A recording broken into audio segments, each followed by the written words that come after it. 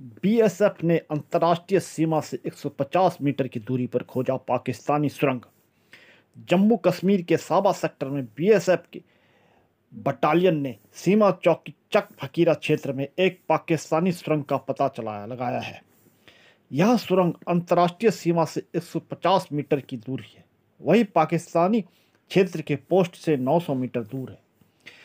BSF की विशेष checking अभियान चलाया गया है। सीमा पार से आतंकी भारत में घुसपैठ की कोशिश करते रहते हैं। कई बार ये सुरंग बनाकर वहाँ से घुसपैठ करते हैं।